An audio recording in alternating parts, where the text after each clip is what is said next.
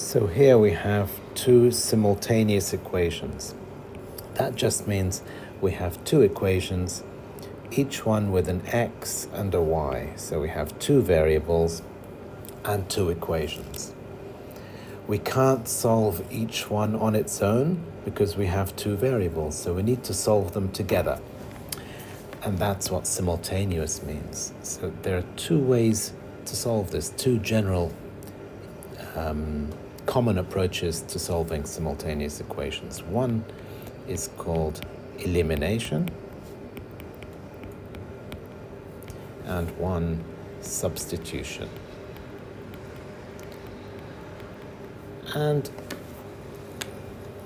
both um, are equally um, easy, um, but some apply um, more readily to some equations. So I'll, I'll try both and I'll show you that you'll get the same answer, whichever approach you, you choose. So for elimination, what you want to do is you want to eliminate one of the variables, either the x or the y. So the first thing you need to do is rewrite these equations so that you have the x and the y in the same order. So I want the x before the y. So I'll write x plus 3y equals 6 and 7x minus y equals 20.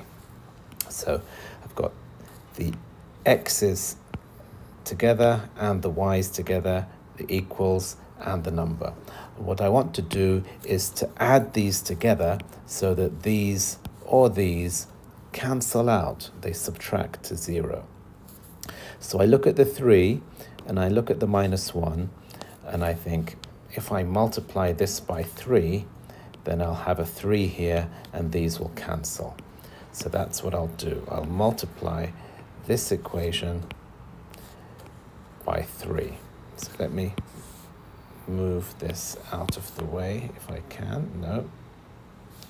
So if I rewrite this equation, 3 times 7, 3 times y, and 3 times 20, I'll get 21x minus 3y equals 60. And then I'll bring this equation back down here. So x plus 3y equals 6. And then I'll just add these two together. So 60 and 6, that's 66. And then minus 3y and 3y, that's going to give me 0. And 21x plus x is 22x. So the y's have been eliminated. So now we only have one variable x. So that's easy to solve. We can, sorry, 60 plus 6 is 66, of course. We can then divide 66 by 22, and that'll give me 6. So now we've found the value of x, we still need to find the value of y.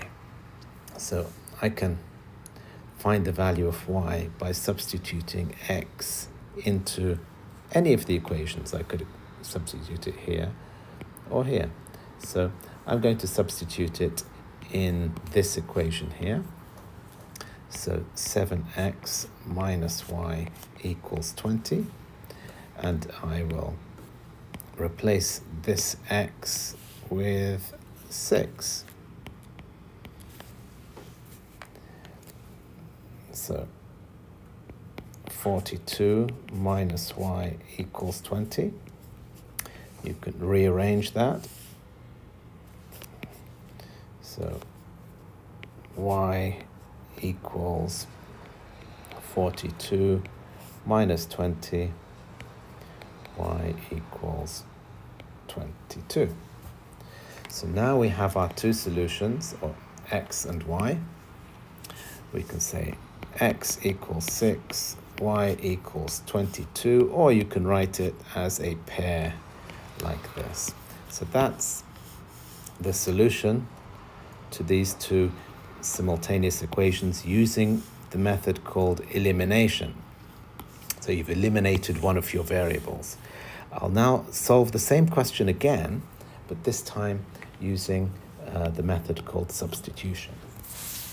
So I'll just make some space.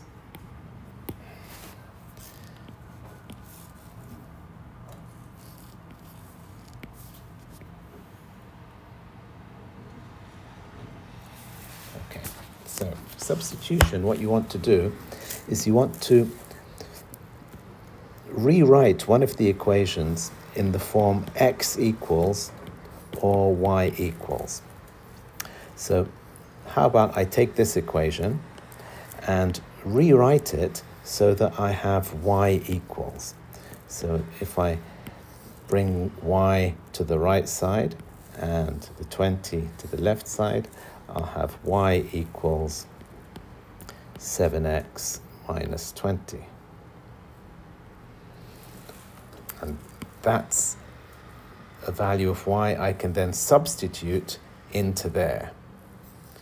So my strategy is to write one variable in terms of the other and then substitute that back into the original expression. So I can now write sorry, what I meant was substitute it into y.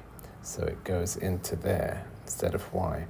So I can now write, instead of 3y plus x equals 6, I can replace this with that. So it becomes 3 times 7x minus 20. Okay, so this is that. So now my expression only has x in it, and therefore I can solve it. So that's 21x minus 60 plus x equals 6. So you want to expand the brackets. So that gives you 22x equals 66 and x equals 66 over 22. So x equals 6. So if if that's familiar, it's because it's the same the same answer. Now we found x, we can find y by substituting x in there. So this is our expression for y. We can simply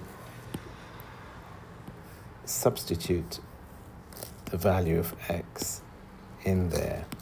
So y equals 7x minus 20, and this x will go in there. So y equals 7 times 6 minus 20, 42 minus 20 equals 22. And again, if that's familiar, it's because it's the same answer that we got previously. So now I have my two solutions, x and y. I can write x equals 6, y equals 22, or you can write it as a coordinate pair, 20, uh, 622, x comma y. So that's how you would solve this by substitution. So whenever you have a pair of simultaneous equations, if it's linear, that means there's no squared or cubed or 1 over x or cosine x. If it's just a linear expression like this, sometimes you can use elimination. Otherwise, substitution always works. Okay, I hope you found that helpful.